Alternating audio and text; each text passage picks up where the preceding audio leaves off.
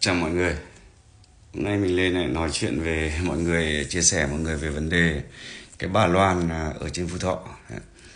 Thì à, bạn à, gọi là cái nick gọi là Đạt đến rồi, đúng không Thì đến hôm nay bạn Đạt bạn ấy nói là Cái video này có lẽ là bạn ấy lên cái video cuối cùng. Tức là bạn ấy đã nhìn nhận ra sự việc Và bạn ấy quay xe rồi. Đấy. Vì sao mình phải nói như là đạt quay xe rồi? Thì à, bạn đạt này thì à, mình không biết nhiều, nhưng mà trước tiên là bạn cũng có tấm lòng thương thảo. Vì thấy cái sự việc quá nhức nhối, chỉ nghe từ một khía cạnh là từ phía cái bà Loan này với cả một số hàng xóm thôi, chứ chưa tìm hiểu kỹ. Thế cho nên bạn thì có chút mạnh mồm như thế. Đến giờ bạn khi tìm hiểu rõ sự việc rồi, thì giờ bạn nói thẳng luôn là như thế là, như thế là bà rất là quá quát hiểu không? Còn mình một muốn phân tích một đôi điều để anh em mình cùng à, tranh luận nhé cùng thảo luận nhé khi con trai bà lấy cái cái cái cái cái cô này này đấy, vào năm 1998 thì uh, cho con trai bà cái mảnh đất đó từ năm 98 thì mình phải khẳng định với các bạn này năm 1998 nếu mảnh đất ở trên Phú Thọ ấy, nó gọi là đất khỉ ho cò gáy có thể người dân cho nhau được, chứ không nói là mẹ cho con. Đúng không? tức là bà mẹ cho con trai mình lấy vợ cho nó mảnh đất đó. Đấy. Thì cho là cho hai vợ chồng nó, tức là chúng mày lấy nhau tao cho mày mảnh đất đó. Thì không ai có ý kiến gì cả. Đấy. Thì về sau này thì bà lại cho đứa cháu nội của bà, tức là cháu đích tôn của bà, thêm một cái mảnh đất bên cạnh. Thì hai vợ chồng nhà họ đến bây giờ vẫn đi làm công nhân, đúng không vẫn đi làm công nhân thế cho nên là nuôi con khôn lớn. Thế cho nên để xây được ngôi nhà thì cũng phải vay mượn chút gì đó ở bên nhà vợ. Đấy. Thì à, cái lỗi lớn nhất là cái lỗi là bây giờ thật sự cái đất tự nhiên nó thổi phồng lên. Đấy. Rồi là doanh nghiệp nước ngoài vào thứ thì đất tự nhiên nó đạt tăng lên. Thì mảnh đất mà bà bà Loan này cho con trai bà khi mới lấy vợ thì bán được 3 tỷ.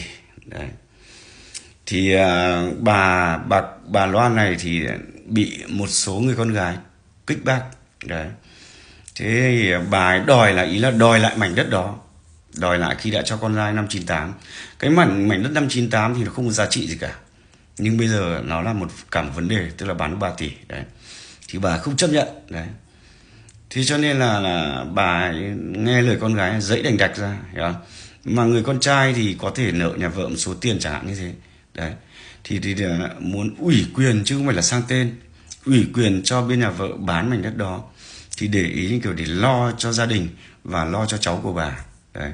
Nhưng mấy người con gái kích động bà. Thế là bà vẫn đang ở với hai vợ chồng họ chứ. Hàng hai năm nay đấy bà cứ viết đơn lên kiện tụng để cho mảnh đất nó không bán được. Nhưng người ta mua rồi. Khi người ta muốn xây dựng thì bà ngồi lên mảnh đất để không cho người ta xây dựng. Đấy, để cản trở. Đấy thì khi bây giờ thì khi lên đến uh, chính quyền ấy thì thì chính quyền uh, hai vợ chồng nhà nhà này hai vợ chồng nhà con trai bà này tức là cả đứa con dâu chấp nhận để cho bà ở cái mảnh đất mà bà đã cho cháu bà. Còn mảnh đất thì là họ đã bán rồi. Hai vợ chồng nhà này quyết định đi ra thuê nhà ở. Đấy. Nhưng mà bà với cả con gái bà không chấp nhận. Muốn là cái mảnh đất bán được 3 tỷ này phải giả lại. Đấy tức là số 3 tỷ này ít nhiều phải chia ra bốn người, ý là như thế. Nhưng mà không được chấp nhận là bởi vì sao? Khi bà đã cho con người ta rồi, đã sang tên sổ đỏ cho con con con trai bà rồi, thì nó được toàn quyền sử dụng, đúng không? Bây giờ chỉ cái vấn đề bảo là bà cần một mảnh đất hương hỏa, tức là là mảnh đất của bà sinh sống, đúng không? Nhưng bây giờ đã đã coi như là chấp nhận nhường hẳn cái nhà hai tầng cho bà ở, gọi là phụng dự ở, bà ở được ngôi nhà tử tế, đúng không? Khang trang rồi nếu bà cần phụng dưỡng vợ chồng à, nhà này vẫn phải phụng dưỡng nhưng bà vẫn không chấp nhận thì mình phải khỏi nói luôn để cho các bạn hiểu đây không phải người già nào người có tuổi nào cũng đáng được kính trọng đâu mọi người Đấy, cũng cũng đáng được trân trọng đâu. Đấy. còn mình à, chỉ nói các bạn mình không quy kết cái gì cả nhưng tâm sinh tướng các bạn ạ. Mọi người cứ nhìn vào mặt bà Loan mà xem với cả hai người con gái lên đấy. Giờ này mà vẫn còn lên là xin cộng đồng mạng giúp đỡ bà để bà mua được một ít đất thôi. Tức là, nhưng mà ít ít ít đất ở cái trên mảnh đất của bà ấy. Thế cái mảnh đất cũng là của chị, của bà ấy mà. Thế tại sao không ở nhà hai tầng ấy đi? Mà tại sao lại phải xin cộng đồng mạng cho bà ít tiền để mua mảnh đất và phải được đứng tên của bà ấy? Tại sao phải như thế? Con trai bà vẫn thờ vẫn thờ mà vẫn thờ chồng bà, thờ tổ tiên mà. Tại sao bà phải căng thẳng như thế? Mục đích chính ở đây là chỉ nút thắt tất cả ở đây là do mấy người con gái của bà, tác động vào bà, kích động vào, đấy, để đòi chia cái mảnh đất đó. Không có đâu, nói thật. Bây giờ khi bà đã ra chứng thực ở ngoài chính quyền rồi, thì bây giờ nếu muốn nói gì, luật là phải trên văn bản.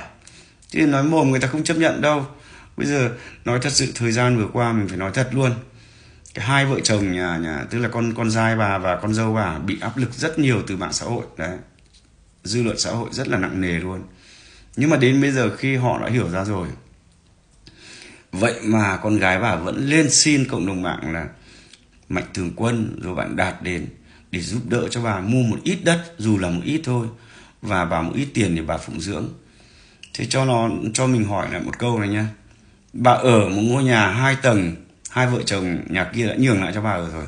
Thế đã đàng hoàng chưa? Một tháng, một bà cụ 73 74 tuổi ăn được bao nhiêu tiền?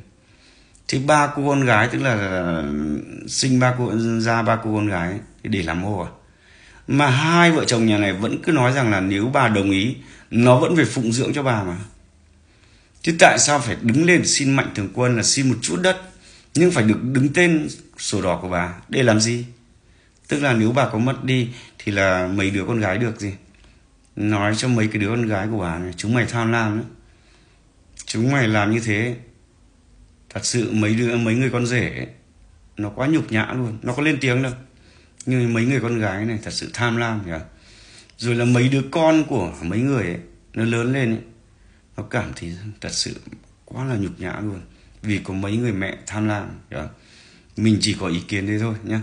Mọi người cùng bình tâm mà suy xét cái sự việc xem như thế nào nhé nói thật sự, vợ chồng tức là con trai và con dâu bà không có lỗi trong chuyện này đâu. Không có lỗi. Thật sự là không có lỗi. Thế nhá, mình có ý kiến ấy. chào mọi người, chúc mọi người sức khỏe nhá.